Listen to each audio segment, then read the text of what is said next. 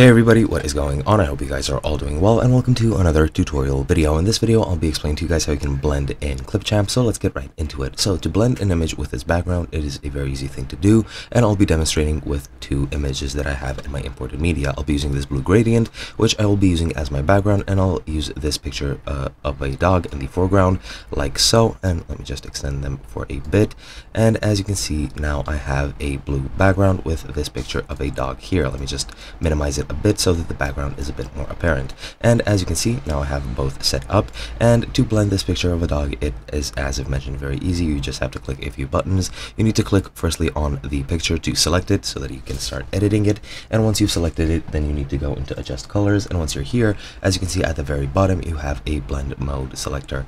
Here, you just want to click the drop down menu. And from here, you can select any blend mode which you want. Normal is just nothing. It's completely unblended. You can also darken it. You can go and multiply it, you can lighten it, you can screen it, or you can overlay it. In my case, I'll choose the darken option or the multiply option since that looks the best for me. And as you can see, now the picture is blended with the background like so. No matter where I move it, it is completely blended with the background, which is this blue sort of uh, gradient. Now, if I delete that, as you can see, it'll turn completely black since it's blended with a completely blank black background. If I add this green, uh, green, green screen video of these dinosaurs, as you can see, it is completely blended here as well. Uh, you can also change between darken, lighten, multiply, with etc. etc. In my uh, opinion, multiply still looks the best.